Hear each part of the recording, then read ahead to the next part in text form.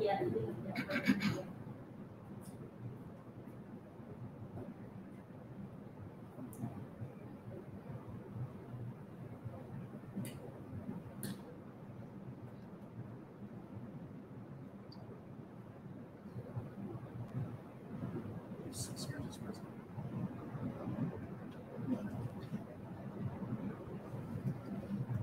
That's it.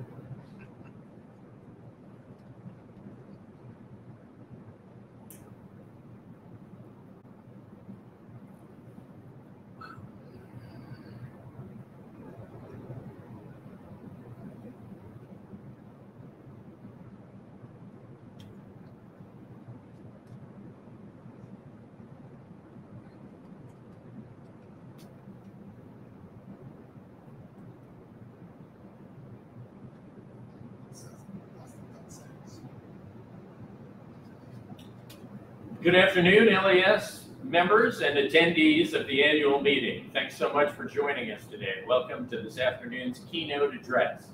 I'm very pleased to be uh, joined here today with a distinguished panel that will be addressing and discussing lessons in licensing from the NFL Players Association and comparisons with technology licensing.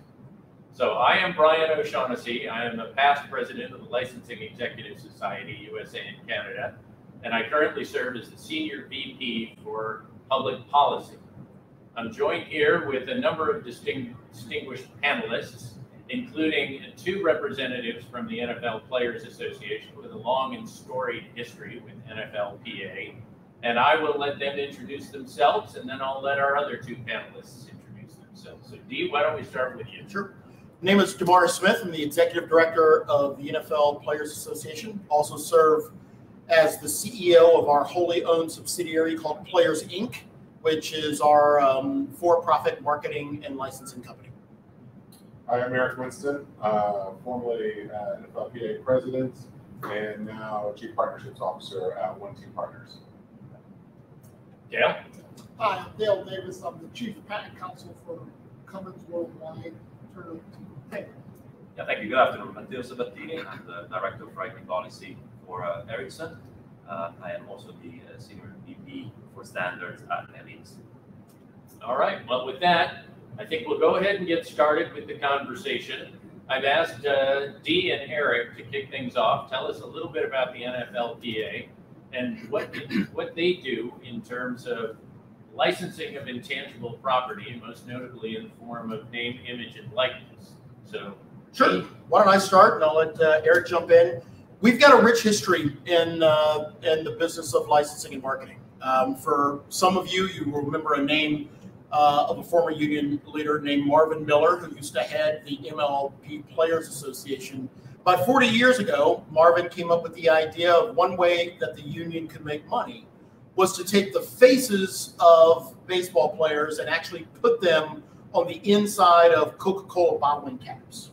And from that day forward, that was the beginning of um, our sports unions getting into the business of licensing and marketing. So 40 years later, um, you're, you're here in the offices of the NFL uh, PA. You're in a building that we own. Um, downstairs is a company that generates approximately 200 to 240 million dollars uh, a year in licensing and marketing revenue. And I'll just for the next few minutes just talk about what it means for that, you know, for that for a union. Um, we're one of the few unions in the world that's fully self-sustaining, which means we take a portion of that revenue that we generate from licensing and, and marketing. We pay every salary uh, in the union, every salary in um, in Players Inc., and then we actually kick a twenty thousand dollar check back to every player in the National Football League. So why is that important from a union standpoint? Um, I'll let Eric talk about why that's important in the business of marketing and licensing. But from a union standpoint, um, we look at our wholly owned subsidiary as the engine that drives the train. Um, we are in a um, forced relationship with the National Football League, and I'll just you know start off by saying that Roger Goodell is a personal and close friend of all of ours. Um, but we have a relationship where at times it's somewhat contested. Uh, we're a labor union that's committed to representing the rights um, and interest of our players, and at times those labor battles mean either strikes or lockouts or litigation um, or other things that we have to engage in to, to protect the interest of our players. Being a union that can rely on an engine that generates revenue off of the licensing and marketing of partners um, of our members isn't just a money making enterprise. For us, we view that our relationship um, with our licensing department as somewhat existential. So, you know, with that, um, I'm proud of our, our 30 year uh, heritage of generating um, revenue from the licensing and marketing of our players. We, we love that business. Uh, we certainly love what it does uh, for our unions. But from that story about Marvin Miller, we, we evolved to a thing called the Madden game, which is um, our video game to ownership interest um, in in licensing apparel, ownership interest in um, in things like uh, bands that measure your heart rate and your biometrics. But one of the things I'm most proud of um, um, is how we now have evolved into a business that not only looks at NFL players but looks at the relationship um, that we have with other unions. And and before Eric talks, I, I, I take almost every opportunity to brag on him a little bit. Um, Eric was um, uh, the first player in our union to be elected president generally from the floor. Um, he served with distinction um, as our president for six years, most notably um, helping us negotiate the, the 2020 collective bargaining agreement that um, that again is going to set the standard in professional sports for the next 10 years. Um, he's now moved on to, uh, I guess I could say bigger and better things, but I'm not sure there's anything bigger or more important than being the president of our union. Uh, but now he serves in a different. role. It's different. It's different. Um, so with that, uh, my good friend and um, uh, uh, one of the best presidents we've ever had, Eric Winston. Thanks, Steve. And uh, Brian, thank you for getting this together. It's great to meet you guys. And and really looking forward to the conversation here.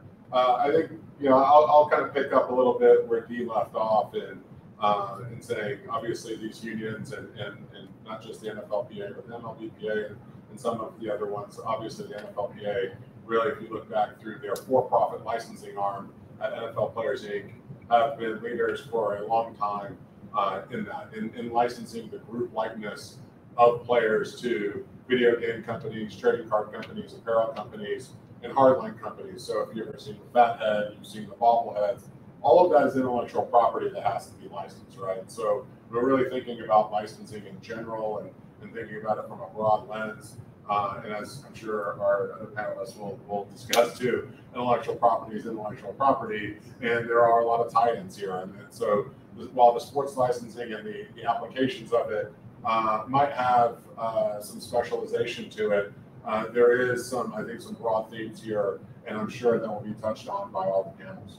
Uh, about two years ago or so, um, I think the NFLPA and MLBPA uh, took a, a, bold and, and I think very insightful step in saying what's next, right? We, we had a licensing arm that did a lot for a lot of years and the next step was, okay, how can we now move into the future? How can we make this a 2.0? And, and how can we, uh, you know, whether you want to say pour gasoline on the fire or whatever your cliche slash metaphor will be for that, how do we make this bigger, right? And, then, um, you know, I'll, I'll, spare everybody the details, but in steps, you know, one team partners, which is really a joint venture between the MLBPA, the, ML, the NFLPA, and a capital partner uh, to do just that, is to really invest in the business and to do some of the things that the unions not necessarily weren't positioned to do, but that could be done at a much bigger scale when you actually aggregated a lot of rights doing it around. Obviously, speaking to EA is speaking to EA, whether you're talking about a soccer game, uh, a football game, or a baseball game. And so we were able to aggregate some of those things, go out and hire real experts in those fields uh, to make it bigger, right? So when we think about one team partners, I really think about it in about four verticals. One is our core competency, it's our licensing, right? Everything's really kind of built around how do we grow that? How do we make it bigger? How do we do things on a much bigger scale? We're able to go out and hire uh, folks in the, in the industry like Henry Lowenfels from Scopely to really focus on our game section but not just focus on the NFLPA's game section, but to focus on all of our new partners, right? So as as as already said, in our joint venture, we started off with the NFL PA, MLBPA, but we've quickly moved and we partnered with the MLSPA, the U.S. Women's National Team Soccer, and the W the WNBPA, along with U.S. Men's and Women's Rugby, and obviously, hopefully, adding more and more to the family in the future. And, and from that, from that expertise, we've been able to really go into whether it's the mobile gaming market, the NFT market that has exploded, and do different and very interesting things, and be able to, to parse those out and license the likeness of the players from several different sports in, in a lot of ways that really maximizes value for them and for our unions uh, that, that we serve and that, that we're partnering with. So when you think about video games, trading cards, apparel, everything that we're doing in those spaces for different partners, that's really what we have our eye on. That's how we're, we're thinking of it. But we're really going to these brands with a much well-rounded and a, and a much more robust offering, right? And so we think about our other verticals, athlete marketing, sponsorship, and the athlete relations vertical, we want to bring athletes closer with these brands. We want to provide more opportunity, right? When we're thinking about licensing, we're thinking about these passive rights, but we really want to be able to activate those rights. And we want to be able to offer the brands a very turnkey experience when they go do that, right? And that that goes into the athlete marketing, the sponsorship section. Then we have a content section um, that that while we do a lot of unbranded or, or what do you say, non-scripted content, whether it's the Gronkowski show on YouTube or other things, a lot of it centers around the branded content. Again, marketing on our relationships with our sponsors and our licensing. Again, going to them and saying, hey, listen, not only can we do this deal for passive rights, but we can also do this deal to produce content to make sure you're getting it to the people that you wanted to get to. And we can really bring athletes in here and show them in a, in a, in a way that they care about, but also in a way that you care about, and, and make this a holistic experience for everybody uh, and increase the value. At the end of the day, that's what this is about increase the value. I'd say our fourth vertical is in investing, right? We have a, a venture arm and a bit of an M&A arm. Uh, and, and, and overall, just bringing expertise and being able to do different licensing deals. Obviously, when most folks have done licensing deals, at least in the sports space, it's a very simple minimum guarantee, a royalty on sales, and you know hopefully our check comes and hopefully it gets bigger um, every year.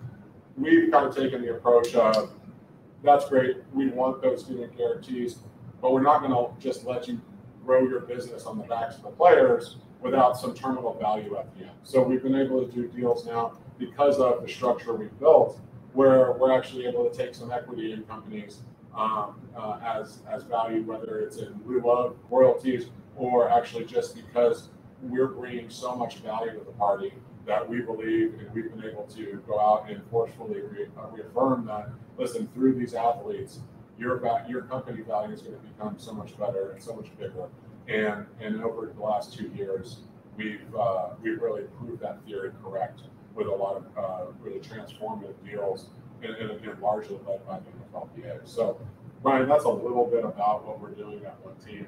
That's how we're thinking of it. But it, we, you know, at the end of the day, it's all about our partners. It's about the rights that they bring. It's about partnering with them in a meaningful way to really drive value. It's a really innovative approach to licensing. So, Eric, one of the things uh, you mentioned earlier was uh, the fact that you know you're sort of licensing in the collective for large groups, but then individuals can go on and negotiate their own deals. Is that right?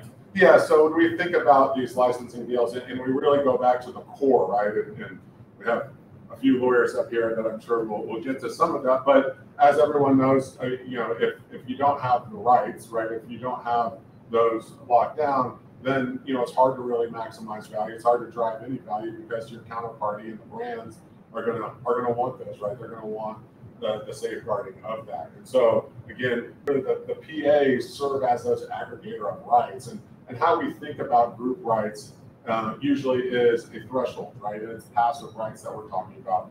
In the NFLPA's uh, stance, you know, six or more in any commercial activity revolves around the group, right? Meaning that they have to come and get approval from the group to use those likenesses, whether you're in sponsorship, whether you're in licensing, kind of start parsing those out. They're kind of becoming one and the same in a lot of ways. But that's the value that can be driven because, again, the PAs are going out educating the players. Um, they've been doing it and they've been showing those checks. I mean, and, again, I think it's really important. The athletes are receiving checks from these deals for not doing anything, right? Just using the likeness. It creates that incremental value, but it also creates additional uh, opportunities for the activation side, right? And so not only could uh, name your favorite quarterback, uh, not only will he get his check in the mail every year from the EA game, the Panini trading card deal, Fanatics, et cetera, down the line, but he'll also have opportunities to activate that license, right? So he'll also have uh, opportunities to make additional money in uh, whether it's TV shows or not TV shows, excuse me, TV commercials, uh, et cetera, et cetera, as you as they're really trying to prove that out. Now, what's not in it, and I think part of what you're getting to is the individual side, right? Those individuals can still go do um, their direct TV deal and go do a commercial there. We're really talking about activations and we're talking about um, entities, brands that want large scale uh, number of players, right? And that's where the, the demarcation ends up living. And that's how we parse it out. Um, and, and obviously, really, the NFLPA as the enforcer and owner of those rights parses those out. So D. um, the difference that strikes me right off the bat is, uh, you know, your licensing technology, it's a cold object that sits on a desk. Right. You're dealing with people who are living, breathing uh, individuals who are probably concerned about their own brand and Yeah. concerned about their image. Uh, how do you deal with those issues? the, the, the best way that we deal with it is um, really educating our players that you are in the driver's seat about how your IP is going to be used. Um, so, you know, for all of us, for lawyers, um, except, you know, thankfully Eric, um, um, Just play one on TV. yeah, um, you know, for a lawyer, we're generally in a position, right, where it's either a defensive posture or it's something where we're being asked to enforce our rights. Um, the, the great role that I have is okay, you, you generally have to serve in that role too, but having an asset where, frankly, we're, we're America's sport, um, it is something that people want to be a part of it puts both a lawyer, you know, in one hand and a business person in the other to be in a seat of, wait a minute, we can actually dictate what we want to do. So you actually have the greatest amount of control over how you, your brand, or you know, your technology or your IP is going to be used. And for us, um, we find that to be incredibly advantageous. Um, it- a player no longer has to kind of sit back and wait to see what deal comes along, and that was the that was the passive way that we used to approach you know these deals. Someone would generally, just being honest, someone would probably call the NFL first and say we want to use players to sell soap, shoes, whatever. Um, and oddly, because the NFL knew that we had the rights and they didn't, the NFL would pick up the phone and call us. Generally, they would say that you're going to get a much smaller part of the deal than, than we're getting. Now that's flipped on its head. So we actually get to go to a player now and say, well, wait a minute, you're actually in the driver's seat. We've got the ability now to go out and get those deals. If it's a deal you don't want to do, that's fine. But for the first time, you know, in the last, I would say, 10 years, we kind of changed the model. And when Eric was president, you know, again, um, having a person who understands the value of going into the market to seek deals as opposed to being passive and sitting back to see what's happening.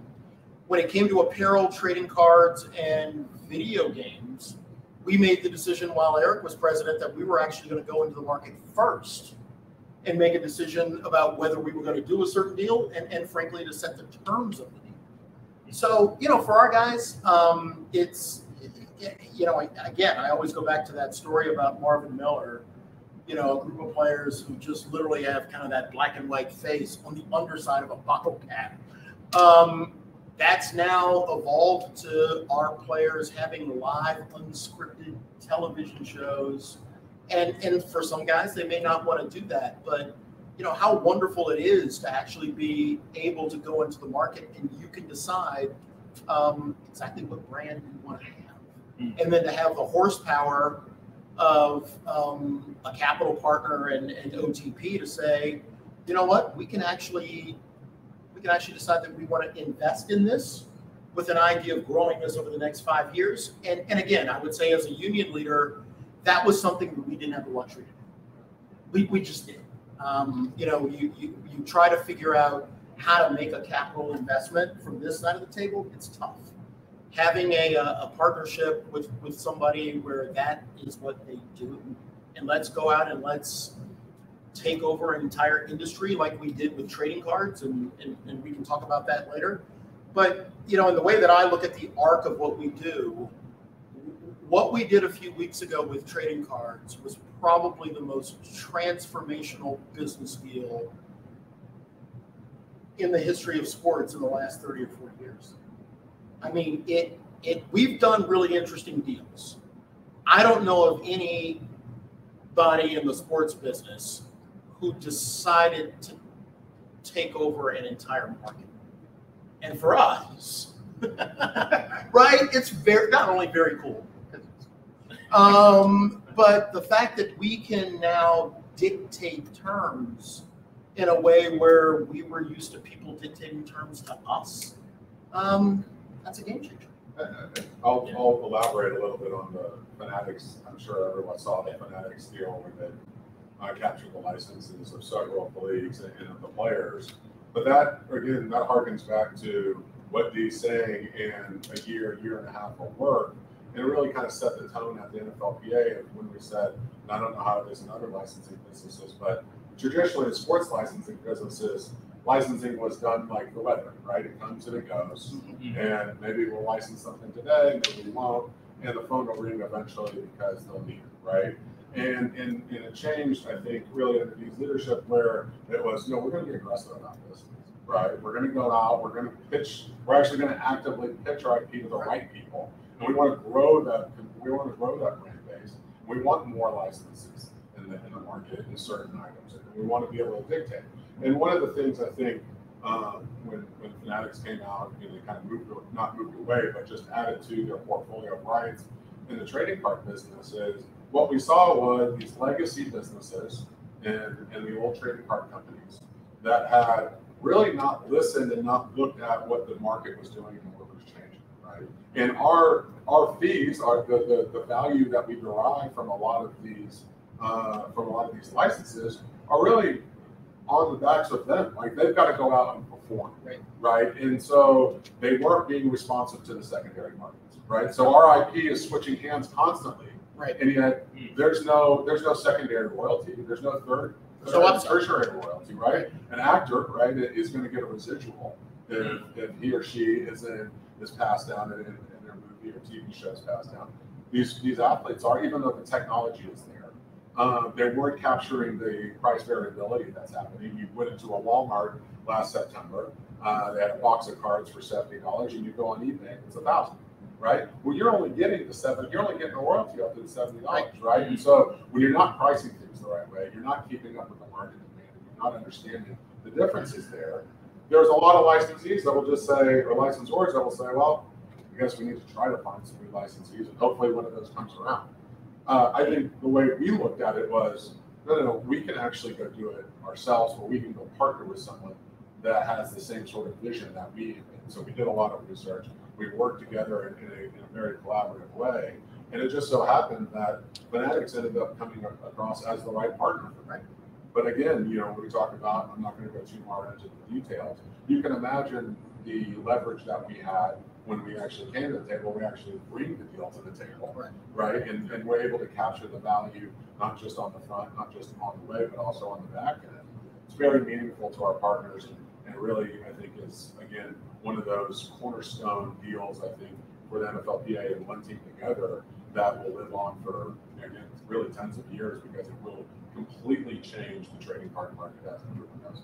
Well, and, and being able to go in with every other union as a part. I mean, we spent a lot of time at lunch talking about the the, the, the fractured state of European rights. Um, you know, the, the only thing I would add to that is, you know, when we find the right partner to join with us, and then we can come to the table and say it's not only football players, but it's baseball players, women's soccer players, MLS players, rugby players.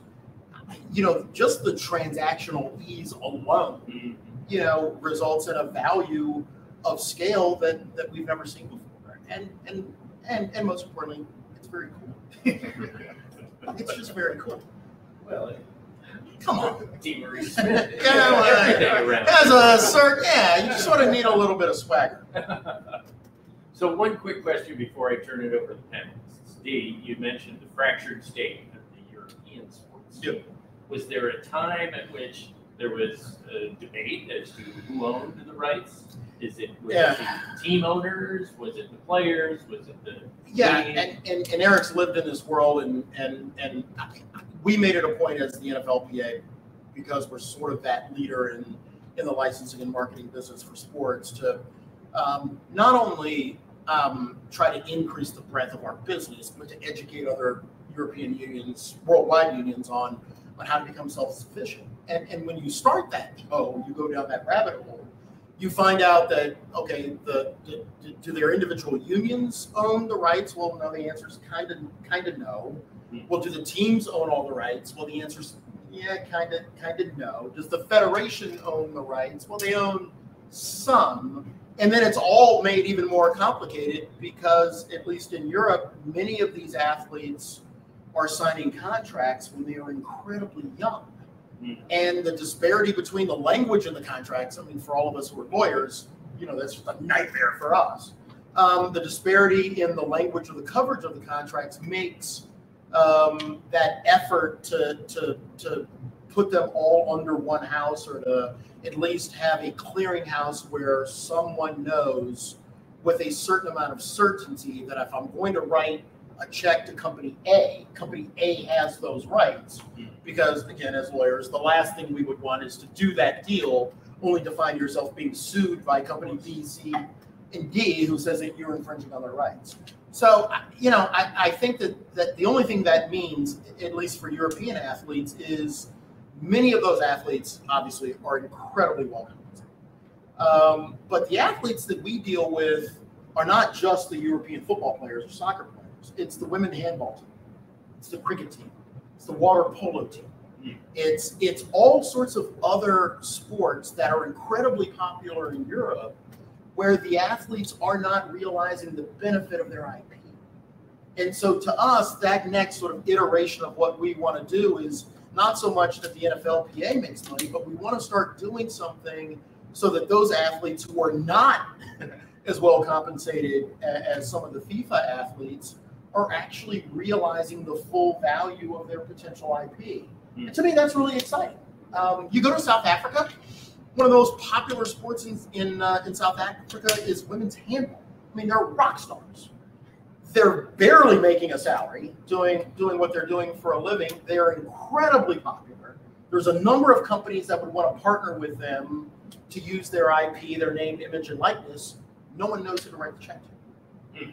And so for us, um, I, I think that next evolution for for people like Eric and at OTP and whoever comes, you know, after this job, you know, that, that I'm in it, that next sort of landscape or platform um, is about how do we grow this idea that these athletes have an intellectual property value and how can they realize it? Wow. Well, Dale, Yes. you're in the business of uh, protecting the IP of huge power generation systems and then figuring out how to monetize that IP. What are some of your thoughts about the comparison with what Dee and Eric are doing as opposed to what you do on a day-to-day basis? I think what, what I've heard fundamentally is the creativity that having and understanding what your IP is allows you to do. Both primary rights as well as the derivatives that come from those primary rights. It's incredibly important because we don't know the life cycle. In my world, we think about things in terms of the life cycle, right? if I were to compare and contrast that, I'm thinking in terms of the, the longevity of an athlete, for instance. It may be three years, it may be five years, it may be seven years, whatever the case may be. Um, but during that period, which is the same life cycle longevity, we have to think how could we create, protect, and monetize and extract all the value that we have during that capture moment of time, right? And how do we do that in different markets? How do we do that in different ways? And how do we try to create additional streams of, you know, kind of what Eric was referring to, additional streams that will come out of this one player, or for us, this one engine or this one power. But I think fundamentally, what I'm most impressed with is the level of creativity. Because it's, it's not always, when it comes to IP rights, if I can take a step back for a second, it's not always an or situation. Either we're asserting or we're defending. There's often times when we're asserting in market A, we're defending in market B, and we're trying to create market C. Mhm. But having the right partners, right, and having that sort of spirit where there is no limitations, let's just figure out how we really do this. It's fundamentally to what we do. So I'm part of a 100 year old engine company, right? And I came from another 125 year old company in uh, General Electric. And one of the things that we constantly have to be thinking about is disruption, right? Mm. You mentioned NFTs, right? We think about trading cards. Well, and I, I don't know, this is purely conjecture, conjecture, sorry. Is an NFT going to be this trading card like thing down the road? Right? When we think about payment systems, when we think about just different ways where image, brand, likeness, technology, how could that be used? Because I know one thing, if we don't think about using it, somebody else will. They're probably already thinking about it. That's where the infringement comes in, right? Yeah. I hope I answered your question. I'm a little Absolutely. passionate about Yeah. this topic. No, good stuff, good stuff. So, Mateo, Yeah, I might. you know, you're in the world of SEPs and, you know, all kinds of integrated stuff across technology platforms. You call it, how you call it cold technology devices? I'll push back on that. I sort of feel that coming. I kind of feel that coming. Uh, yeah. Yeah. Very, very simple, And? I'll push back on that. You Ericsson invents a new widget. Exactly, exactly. We'll communicate with billion more people. So at Ericsson, as you pointed out, we, we developed technology and we deploy it. We're at the forefront of innovation that brought all the Gs from 2Gs all the way to now we're working on 6G. Just to give you a sense, 50% of all mobile traffic touches one piece of equipment manufactured by Ericsson. And every phone out there and many of the cars now, since they're all connected, use technologies developed by Ericsson. So we see it both ways, right? We're a licensee of patents and we're a licensor of patents. Um, and, and, you know, your comment about the coldness of technology. When I was preparing for this this uh, this panel, I, I thought back of, of one two that I was watching when I was a kid, and maybe some people in the audience are too young for this. Uh, you remember Wacky Races? A cartoon by Hanna Barbera. Yes. So there was my favorite, uh, my favorite character there was a math professor. If you remember his name, his name was Professor Pat Pending. There you go. Ah, And so that cartoon was in an era where creativity and the creatives behind the creativity, the Hanna Barbera, and the protection of that creativity was very well understood across society, and it served us in society very well. Now, back to your point of the coldness of technology, I think you know what, what is cool about Professor Pat Pending and what is very cool about what you do is the personal uh, relationship and the fact that the persona is the licensing entity. But one thing that is often missed in the debate is the fact that a patent is not a mere piece of paper. A patent is a testament to the work of the many people that work and develop that technology. So behind the patent, there are the investors who create that technology and the sweat and blood of men and women of, of all backgrounds. And so I want to remind the audience about that connection because sometimes it get lost in, in our debate. There is that personal um, connection there, and we shouldn't forget about it.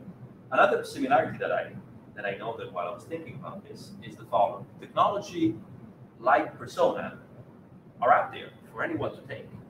They're not self self enforceable rights, and that's particularly true for technologies that are contributed to a standard where you know, the standard is public and anyone can take it and, and implement it. Right? And the business of licensing is a funny business because, from an economics point of view, the disposal of the good happens well before there is any payment for the use of the good. In fact, it happens well before the user of the goods has- even agreed to pay anything. And I was listening to a panel, a panel yesterday about uh, automotive licensing, and uh, one of the panelists, uh, who, um, I'm paraphrasing, said something along the lines of, you don't have to take a license. You can just use the technology, and you assume the risk that you might get sued. That's actually very true. Paraphrasing what Dave Kappos some time ago said, technology is very expensive to develop and very cheap to copy. And I'm not an athlete, and I'm definitely not an- a professional athlete, but I tend to believe that that's true also in your area. Right? It's very, very difficult uh, to become a professional athlete. It's very demanding, and it's not as difficult to actually reap the benefit from Right. using that. information. Right. So Right? I, I, I- I see those two, two commonalities, Well, two words that seem really dark side of and the bright side of the moon. Yeah, and, and we also talked a little bit about, you know, one other major difference is, you know, when somebody steals De and Eric's IP, it's overt and it's very clear because it's an image and they want it to be seen by everyone. Right. In your business and in Dale's business, um, oftentimes the infringement takes place very covert. And it's done in a way very deliberately to, to make it covert. Um, and, and to deny that it's even existing. Um, So what sort of challenges does that create in the SEP? So I, I would take, I would take a step back and actually make it more of a, an IP uh, issue. I think in the last few years or decades, we've seen an increase in what exactly is described. And you know, you want to call it holdout, you want to call it efficient infringement, you want to call it willful infringement.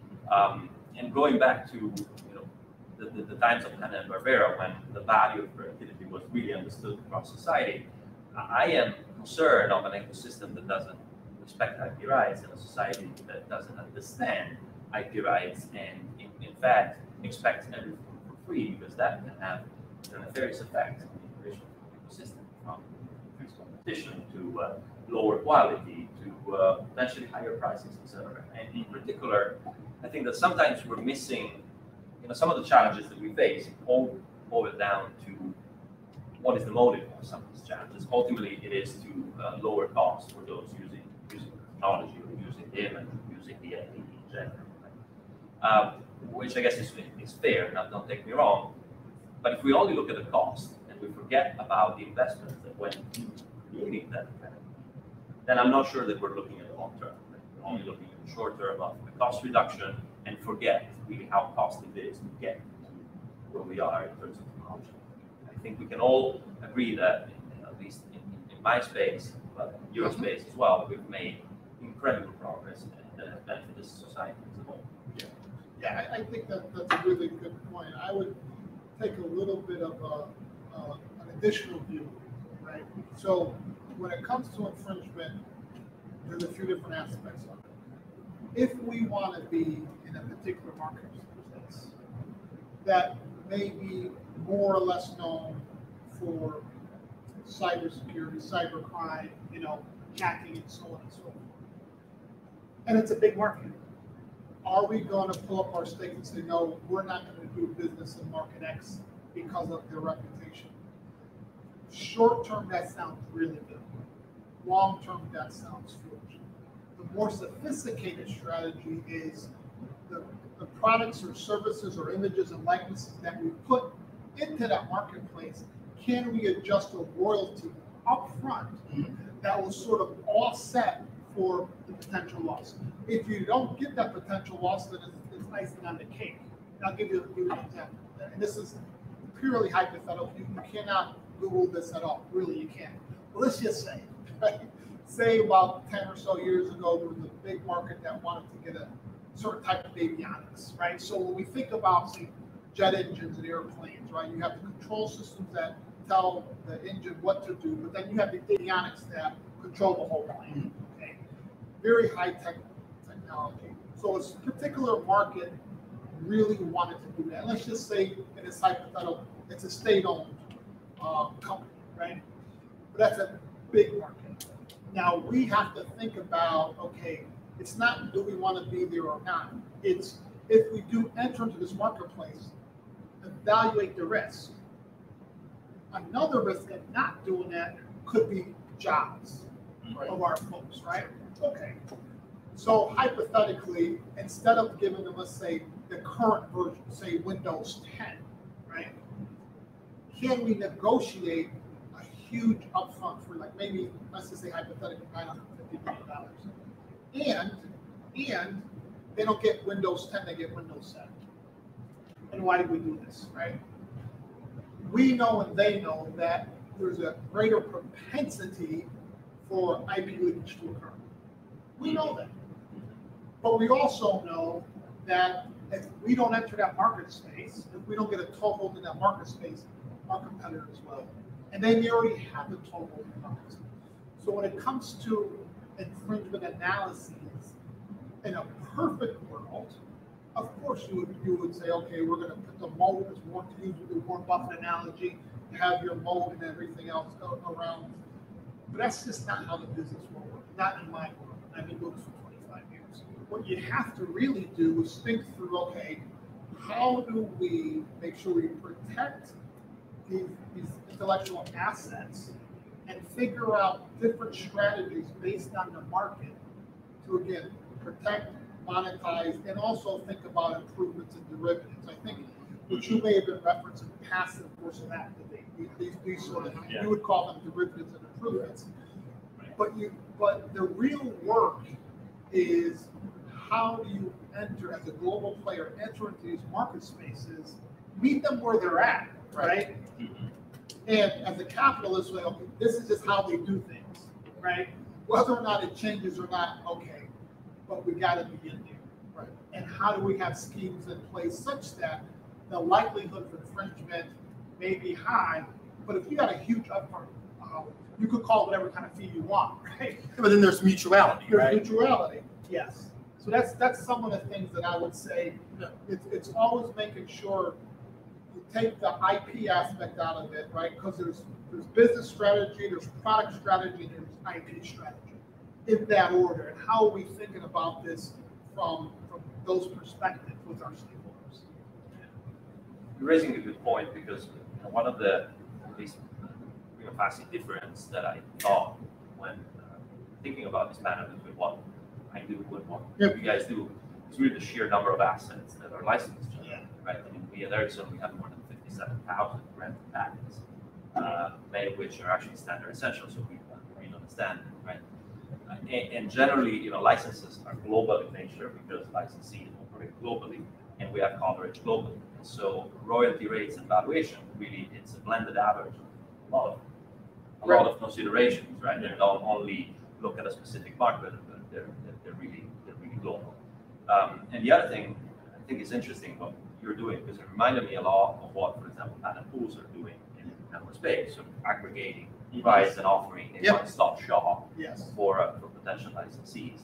Um, in- in our, in our technology field, some patent pools have worked, uh, well, other patent pools have have struggled. We see, especially lately, that in, the uptake has been slower than what we were, uh, we were expecting. And so the convenience that a patent pool offers, um, doesn't seem to offset the sort of reluctance on engaging with a, with a patent pool and, uh, for licenses. And at the same time, a patent pool still maintains the right of any owner uh, participating in patent pool license to license bilateral. So it's actually quite interesting as a, as a similarity.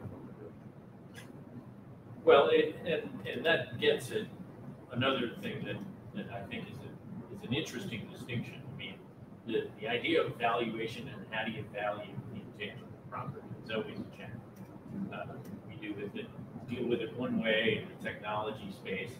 De, I know you have, books have been written about your negotiation successes with, with the league, uh, but you've kind of taken a fundamentally different approach uh, in, in this area in terms of image licensing.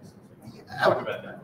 a, a lot of it is born out of, um, you know, I, I, I, I have one giant step back. I love the fact that no matter how much we talk about this, it all comes down to first year property. Bundle of sticks. Right, it, it really does. And so, you know, to me, that's sort of the best place to, to kick off. You know, union negotiations uh, are, are things uh, much like, um, you know, much like joint ventures, where you- have two parties who, at least in theory, are interested in a joint deal that's better than the, the, the, the, the parts themselves. Our approach to our approach to licensing is perhaps not that. Um, we've taken the view that an individual athlete, um, his name, image, and likeness is is not only a fungible quantity, but at least when it comes to this, this is something that is unique and distinct and and and tied to what it means to be intrinsically human. Mm. So, you know, we kind of look at, at it this way. The, the games, we, we love the games. Um, and whether they're played on, on Sunday, Monday night, or Thursday night, we've always taken the view the league does a fantastic job with the game. But when it comes to the individual athlete, we want Tuesday, Wednesday, Thursday, Friday, Saturday, and every day after the Super Bowl ends until training camp begins. That's our opportunity to take what that that intrinsic humanity of a player, hmm. and we have the opportunity for for that player to be empowered to to make an earning or a living from that. And and so it's not so much that we are in competition with the league when it comes to those issues. That's not true. We are, um, and and we do. You know, probably the best example of us um, making a decision, um, like like you talked about. Okay, what areas are are where we might have a mutuality, right? We do a thing called a commercial agreement.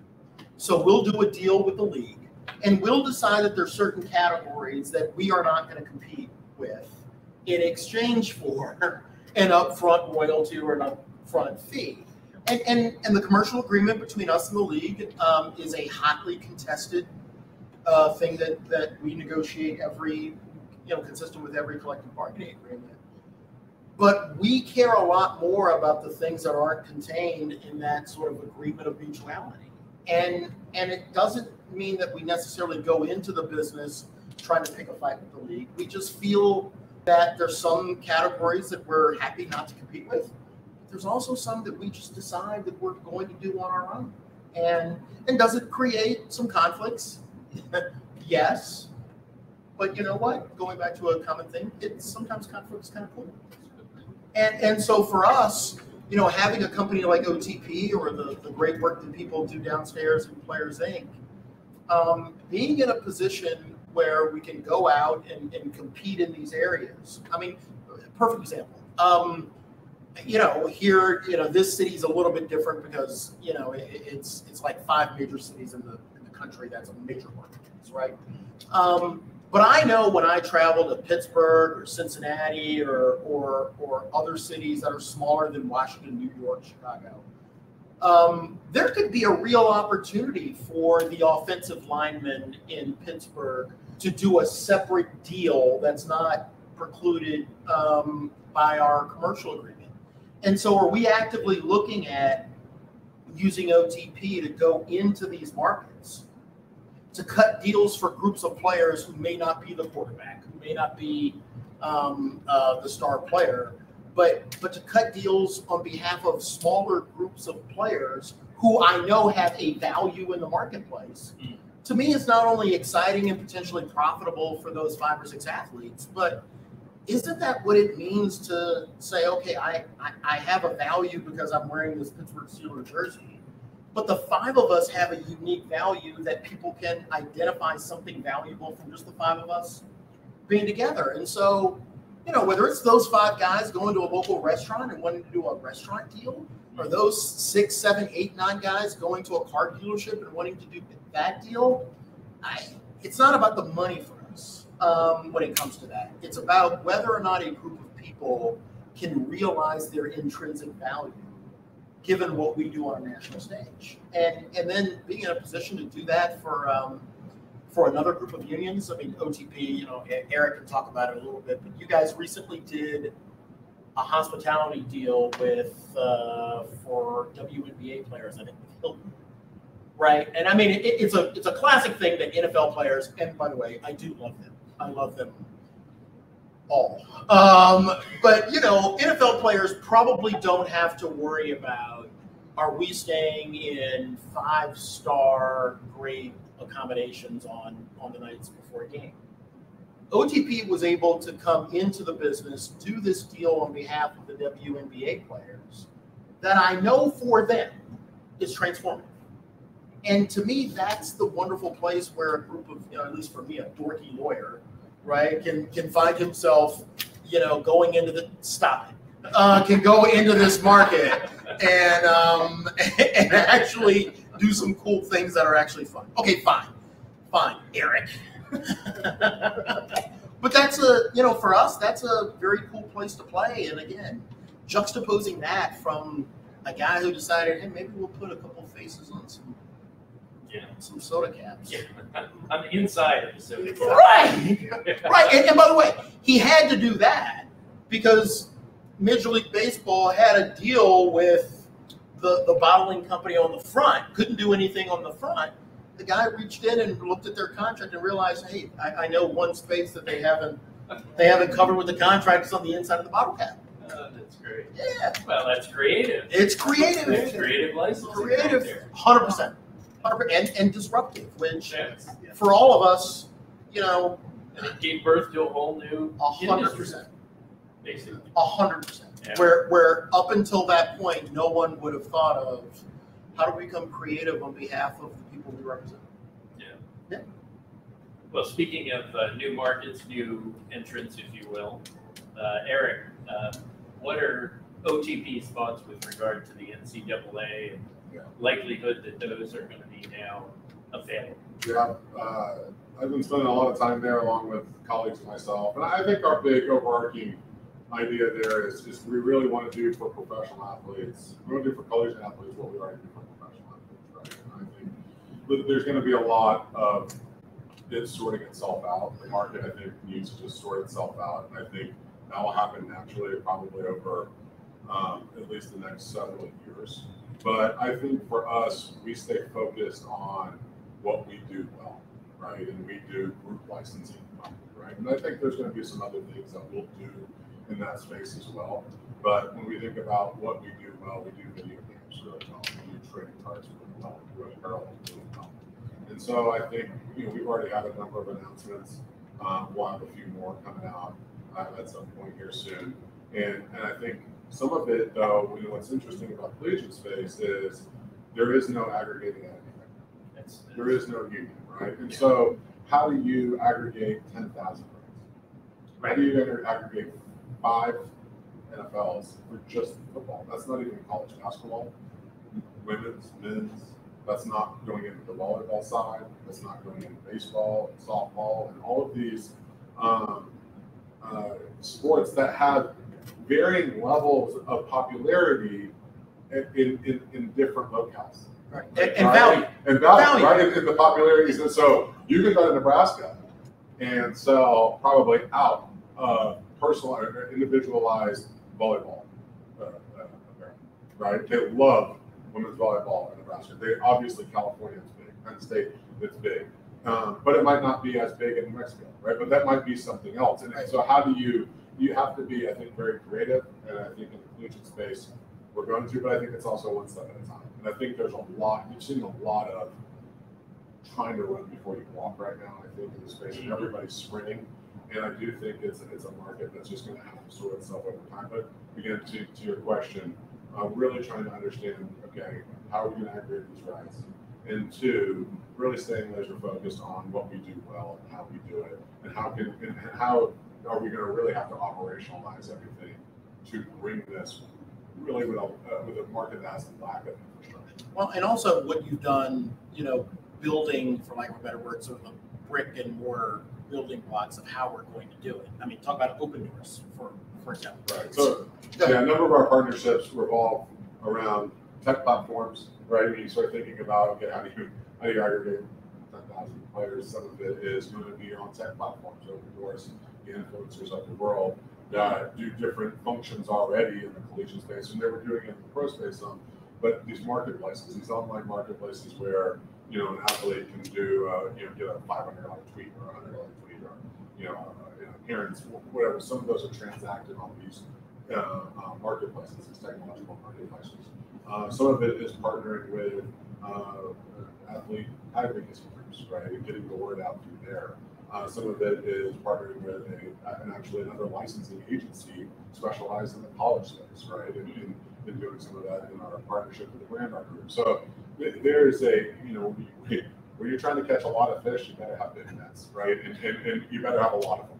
And so that's really kind of the idea here is this two-headed monster of okay, and, and it's and it's somewhat chicken or egg, right? How do you get the licenses if you don't have the rights? How do you get the rights if you don't have the licenses, right? And some of, at one point, they all kind of you know move with each other, and so we've had to do um, we had to be creative, and, and I'm proud to say we've already signed Panini trading cards uh, to a licensing deal, um, which one team was exclusive in that space with them and, and able to go aggregate play. So that's part of it, but there's plenty of and, uh, bigger fish out there, and, and big fish, I should say, not bigger, but big fish out there that we want to make sure that we capture and capture on behalf of the collision athletes. And quickly, uh, Yes, go ahead. But Yeah, oh, okay, you're just giving me a time check. Yeah, Brian. I know you were raising your hand. We're hand. trying to do it underneath the camera. No, no, We're trying to get you underneath the camera. Low five, low five. No, I was going to follow up quickly on something that, that Eric said on, on value in different markets, because Uh-huh. we're experiencing something very similar with our technology going in a lot of different verticals now. Uh, you know, the automotive that I mentioned at the beginning is one, but in the IoT in general. And I think that the value of a technology ultimately really depends on the vertical, the use case, because it depends on how much consumers value the technology. And that value can be very different across verticals. Sure. An example, if you price the technology at the same level for smart meters and for connected cars, the risk is that you're pricing it too high in the smart meter uh, vertical and basically hinder adoption. You might be pricing it too low in the automotive space to promote further innovation. So uh, that, that's something that can of guide your uh, your evaluation when you look at really the use case and what consumers get from the technology, which is something that is certainly very new in some verticals for, uh, for all of us. And I think this on the valuation, that's an excellent point. Valuation should not be static, because especially when you're, when you're doing deals, because, I can tell you so many times when, say, you, you go under, let's say, super NDA, and you start doing due diligence on a deal, around that time, there's a particular valuation, right? It's not uncommon at all, especially if the deal drags out, that the valuation has changed. Maybe the market's changed, maybe new technology's out there, maybe just, just different things. I think often, um, what the, I don't wanna say it crudely, but what the amateurs will do, they'll be so fixated on one particular valuation, we have to think that that valuation is static. Right. It's based on those conditions at that moment in time, so having a model where it, it's almost like live, or at least updated to reflect the realities, not just when you go, go under uh, NDA, but when you're thinking about closing really adjusting that way, and essentially having the wiggle so, such that if it swings this way, you're good, if it swings that way, you're even better. Yeah. Well, we're getting uh, near the top of the hour here, so I thought I'd give uh, 30 seconds to each of our panelists to uh, make some closing remarks or maybe observations about uh, something they picked up in today's conversation. So let's start with you, Oh, I want to go back to something I said at the beginning. Um, let's not forget that patent licensing, which I think we do, uh, is based on patents, and patents are based on human beings, and very clever human beings. And that's oftentimes devote their lives to creating technologies that we use every day, we take for granted. And that's not the case when you're investing in developing those technologies. Yeah, I piggyback on, on, yeah, I mean, it, it, it's property. And, and that value is intrinsic and in our case, um, utterly human. Um, and, and so, you know, I know that sometimes everybody, every now and then, people will take a look at a position that the union's taken on something, um, like that. Um, we, we start off with the athlete and, and I'm proud to say that over the last, uh, 30, 35 years of this business, including the things that we're doing now, uh, we start off with the person and we end with the person. Yeah, I would just piggyback on both those great comments and and just to say holistically, intellectual property is something that it's best done proactively. It's best done creatively and it's best, best done with all the stakeholders in mind. O- Otherwise, it could be. Yeah, I- other than, you know, listed in sports, and I'm also seeing, starting to see it in other walks of life, I think licensing and, and really the core rights around licensing now, you're starting to see a lot of activity around how do you commercialize those rights, thinking about them in a much different way and thinking about them holistically and building businesses, really important businesses around rights that not all of it might be uh, uh, relevant to the specific right, but the, the derivative, as you mentioned, is part of that. And I, and I think you're seeing it now in so many, I know you're seeing it in sports a lot, but I'm starting to see it even in, in other walks of life. And I think it's really interesting. And I think it's, I think it's great really for the licensing industry to kind of get this new breath of, of fresh air. And I think it'd be, be good for everybody to start thinking about it, I think in a much broader lens and not just in a very, uh, myopic side. yeah. Well, I couldn't agree more with that. I mean, in the conversations you and I have had, you, Yeah. you know, one of the things that I think is, is most impressive is, is that you two have been able to persuade very influential people that licensing is really, really important. Yeah. And it's something that most people, when they hear about licensing, their eyes glaze over. Uh, but when you've got influential uh, celebrities like uh, professional athletes talking about the importance of licensing, it's a good thing for all of us and it's good for society as a whole. So thank you, everybody, for joining us. Uh, enjoy the rest of the meeting. Thank you very much. Thank Thank you you. very much for having us. Brian, could you throw me a pass now?